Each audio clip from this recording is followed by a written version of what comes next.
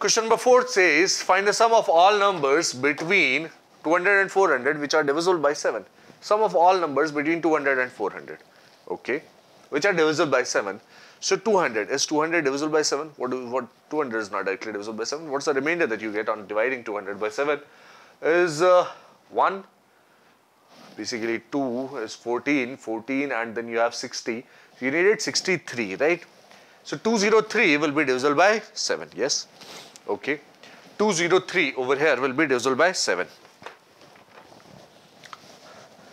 Sum of all numbers, so numbers divisible by 7 will be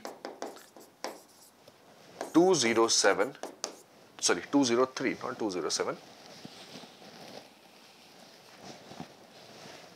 203. Okay.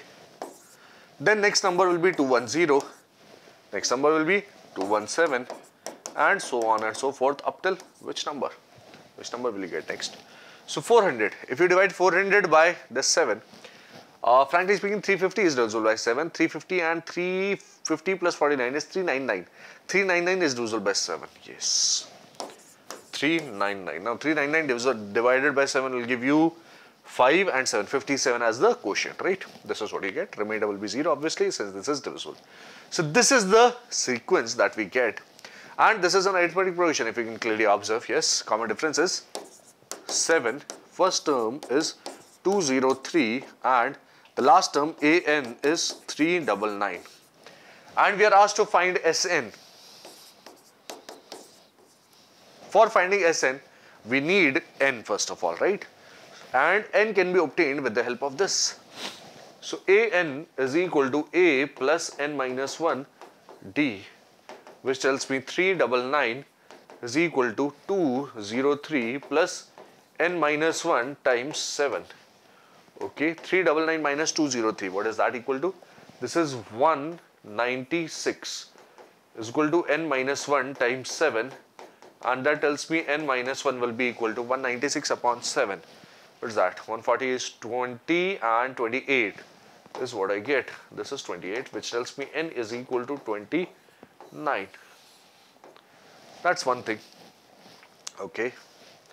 Therefore Sn which will be n by 2 2a plus n minus 1 d or we can use n by 2 a plus a n.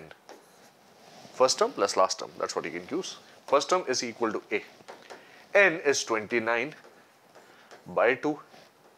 In the bracket you have a, which is 203 and plus an which is 399. This is what you get. So 599 602. Okay, this is 29 by 2 into 602. What is that? 29 into 301 is what I get. Right? Let's multiply that. 29 into 1 is 29. 29 into 0 carried forward is 2 will come over here. 29 times 3, what's that? 87. So this is 8729 and that is my required answer for this question number 4th as you can see over here.